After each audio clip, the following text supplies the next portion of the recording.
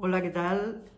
Estoy aquí en mis últimas horas en Barcelona en la que he pasado unos días de médicos y tal y quiero traeros la, reseña de eh, En la boca del lobo de Elvira Lindo, que no es el libro que más me ha gustado de Elvira Lindo, eh, porque además me costaba un poquito de seguir al principio, al principio, porque es esos libros que se escriben en dos tiempos, que hay personajes mmm, que no sabes si son reales o no.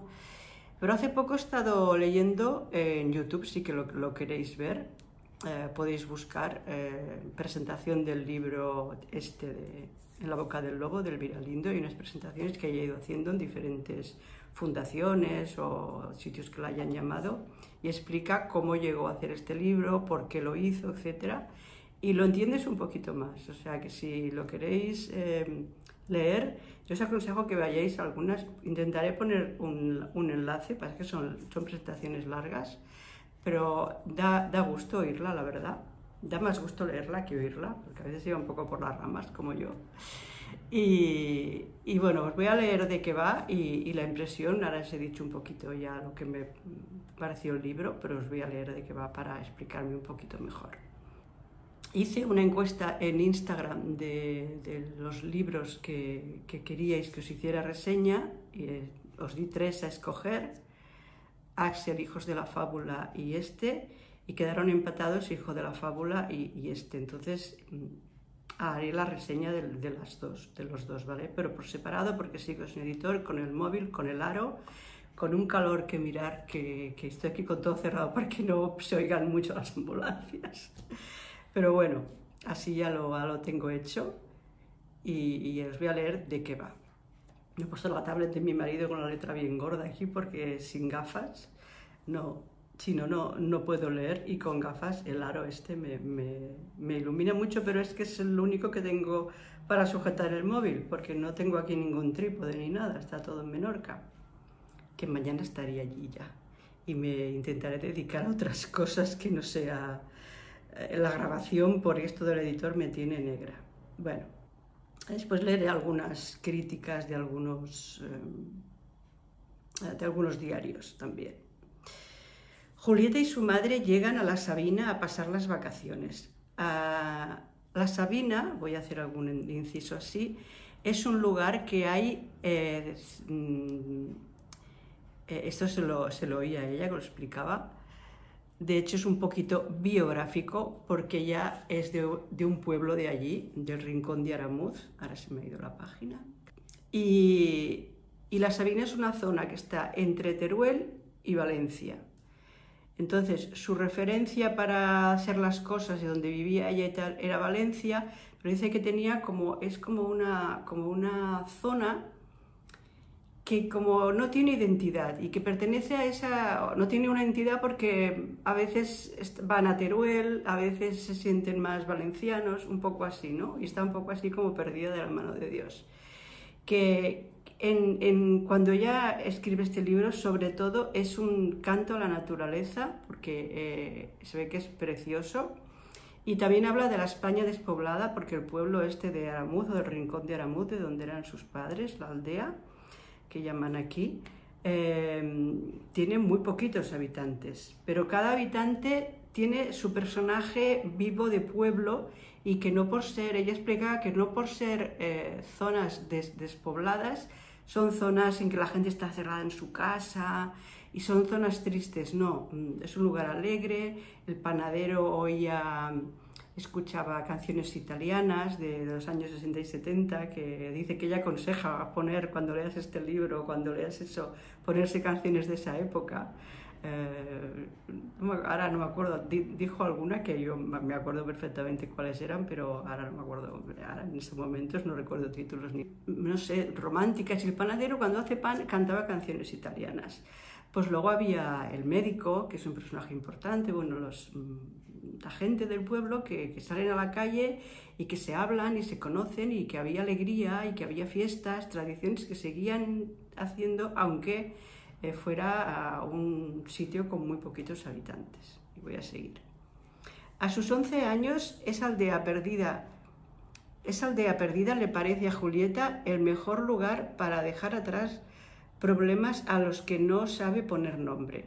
Ese verano eterno lleno de primeras veces descubrirá que los cimientos del pueblo están hechos de secretos y recuerdos, los lindes del bosque, los cuentos y leyendas, y el corazón de las personas de miedo, odio, amor y esperanza, los cuatro sentimientos que nutren sus sueños y también sus peores pesadillas.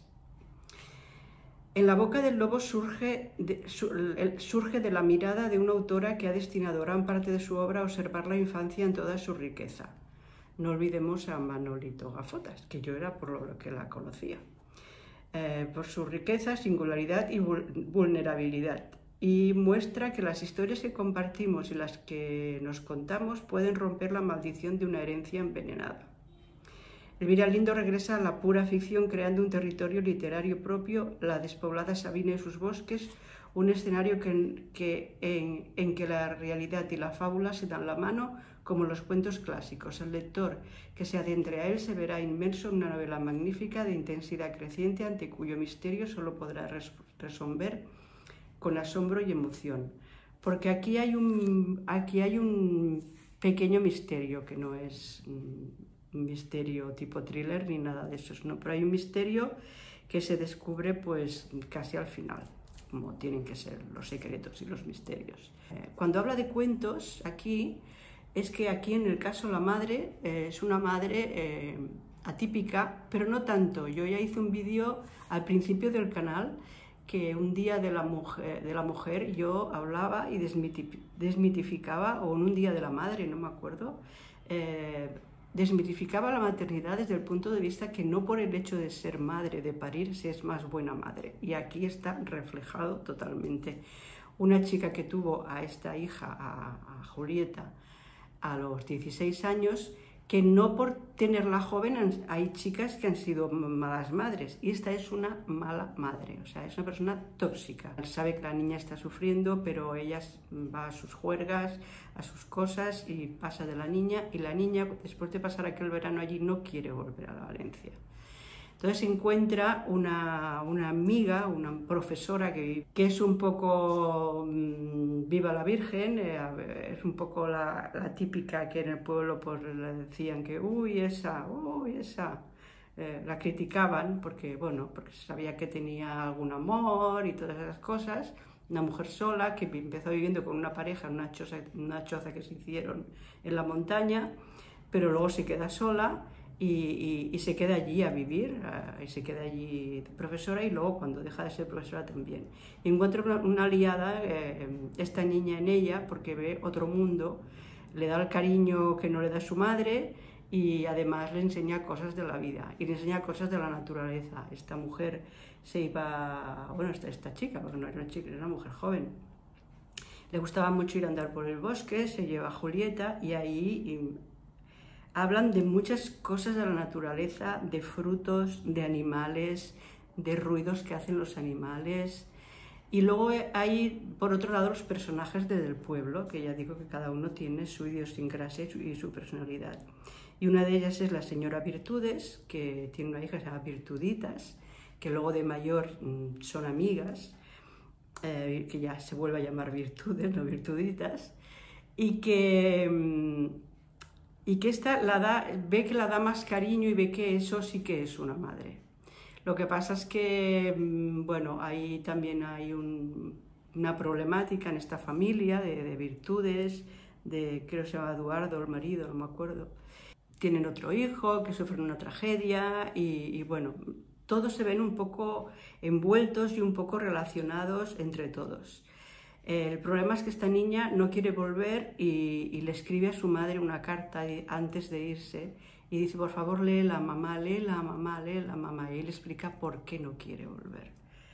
Es al final, que no lo voy a explicar, cuando pasan los años y ella es mayor, que vuelve ella al pueblo de la, Sabina, pueblo este de, Aramuz, y encuentra aquel cuaderno que escribió a su madre. Es un, es un es un cuaderno que tenía que hacer deberes, pero que no hacía, pero que esta profesora le decía, escribe algo, no hace falta que, haga deberes, un poco la guía, ¿no? Escríbelo cada día lo que, lo que quieras expresar, lo que te pasa, pero la niña no pasaba de eso, de escribir. Y aquí se explaya y le explica por qué no quiere volver, que es el misterio y el secreto. Pero no sabe si su madre lo ha leído o no. Y es al final cuando descubre si eso lo había leído o no.